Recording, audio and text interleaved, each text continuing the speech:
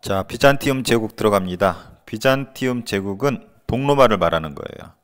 우리 앞서서 서로마, 동로마 배웠습니다. 서로마는 게르만족이 침입에 의해서 망했죠. 동로마 제국은 천년이 넘도록 유지가 되는데 이 동로마의 다른 이름이 비잔티움 제국입니다. 자, 비잔티움 제국의 특징은 일단 수도가 상당히 중요해요. 콘스탄티노폴리스라고 부르는데 교과서에 따라서 명칭이 달라요. 뭐 여기 보는 것처럼 이렇게 부르는 데도 있고 이렇게 이렇게 이렇게 요 이스탄불은 현재도 이스탄불이라 부릅니다. 여기는 터키 우리랑 형제 국가라고 불리는 터키 공화국의 수도이기도 하죠. 터키 자체가 동서양의 딱 길목에 있어요. 그래서 여기 수도였었던 콘스탄티노폴리스 당연히 이 유럽과 아시아를 연결하는 길목에 있기 때문에 어, 돈을 상당히 많이 벌 수 있었고 그 당시 때 최대의 도시로 성장할 수 있었다고 합니다. 더군다나 여기 사진에 보는 것처럼 어, 두텁게 성을 쌓았기 때문에 또 옆에 잘 보이진 않지만 물로 이렇게 겹겹이 방어막을 쳤어요. 그렇기 때문에 쉽게 함락되지 않았었던 천년이 유지되었었던 그런 도시가 콘스탄티노폴리스라고 합니다. 자, 황제 교황주의라고 합니다. 우리 여기 서유럽 같은 경우는 교황의 힘이 상당히 셌었잖아요. 근데 동 동로마 이 비잔티움 제국은 달라요. 황제가 정치 군사뿐만 아니라 종교의 권한까지도 가지고 있습니다. 이 그림을 볼까요? 황제 교황주의라는 표현을 썼는데 여기 가운데 황제가 있죠. 근데 이 오른쪽은 종교인들이에요. 그래서 종교인들과 여기는 이제 정치인들이에요. 그래서 이 정치인들, 종교인들을 다 아우르고 있는 모습인데 황제 교황주의를 잘 보여주는 그러한 그림이 되겠죠. 그리고 전성기는 유스티니아누스 대제 큰 황제란 뜻인데 꼭 알아둬야 됩니다. 옛 로마 제국을 다 차지했었고 음, 유명한 유스티니아누스 법전을 만들었고 성소피아 대성당을 건설했습니다. 특히 성소피아 대성당은 상당히 유명하기 때문에 꼭 알아둬야 돼요. 이 그림을 볼까요?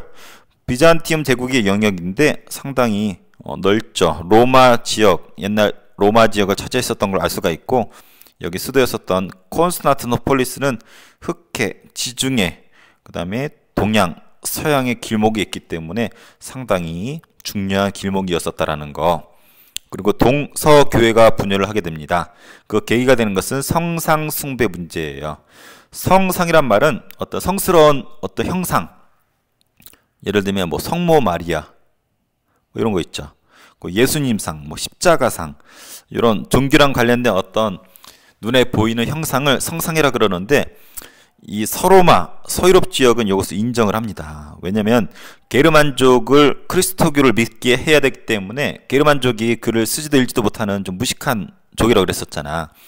그래서 이 서로마 입장에서는 그들을 크리스토교로 개종시키기 위해서는 이런 상상숭배 필요성이 있었죠. 근데 동로마는 그렇게 인정하지 않았어요. 인정하지 않아요. 이런 입장 차이에 의해서 서유럽에서는 로마 카톨릭이 중심을 잡았고 동유럽에서는 그리스 정교라고 해서 새로운 종교가 탄생을 했는데 이 둘을 다 합쳐서 우리 크리스트교라고 부르죠. 뿌리는 같아요. 근데 우리는 이게 익숙하죠. 선생님 다니는 성당도 로마 카톨릭 계열입니다. 자, 비잔틴 비잔틴 문화 쪽이에요. 여기는 복합적인 문화예요. 어, 그리스 정교라는 종교, 그 다음에 기존의 그리스 로마 문화, 헬레니즘 문화가 섞인 문화이고 어, 여기서 우리가 기억할 건 요겁니다. 그리스 로마 고전 문화를 보존하고 연구했어요.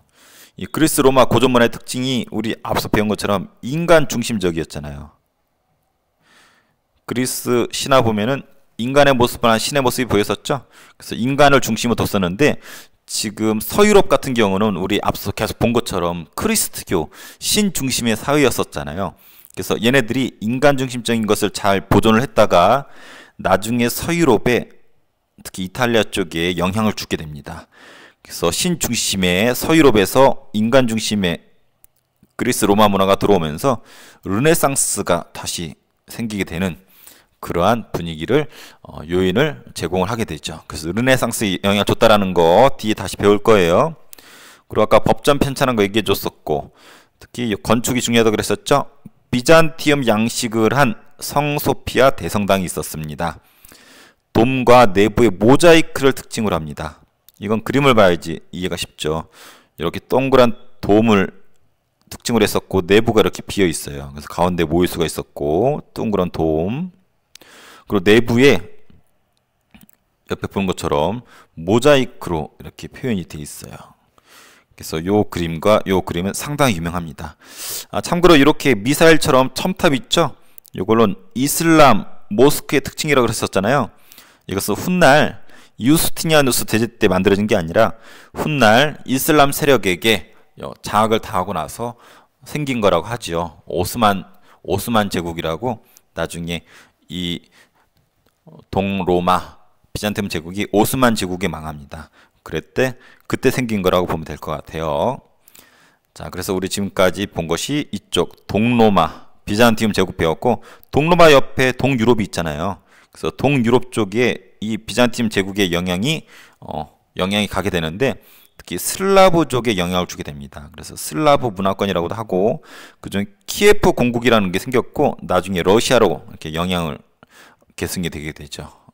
그래서 우리 지금 현재 비잔티움 제국 배웠는데 꼭 짚어야 될 거 형광펜으로 칠하고 넘어갈게요. 수도가 어이고 어, 수도가 콘스탄티노폴리스였다라는 거. 그래서 교역로에 위치했었고 황제 교황주라고 해서 황제가 모든 종교 권한까지 가졌었고 유스티니아누스 대제 꼭 기억해야 되고 이 성소페 대성당과 법전 유명합니다.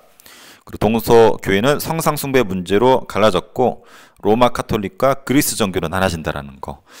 비잔티움 문화에서는 그리스 로마 고전 문화가 잘 보존이 돼서 르네상스에 영향을 끼쳤고 성 소피아 성당이 돔과 모자이크가 발달한 비잔티움 양식이었었다라는 거 꼭 기억해 주기 바랍니다.